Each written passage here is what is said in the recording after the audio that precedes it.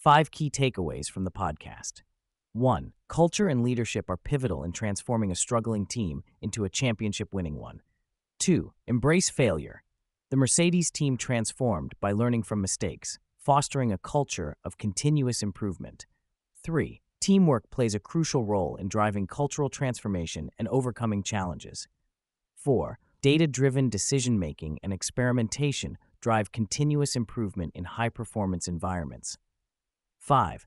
Balancing hard work with personal health is crucial for sustained performance.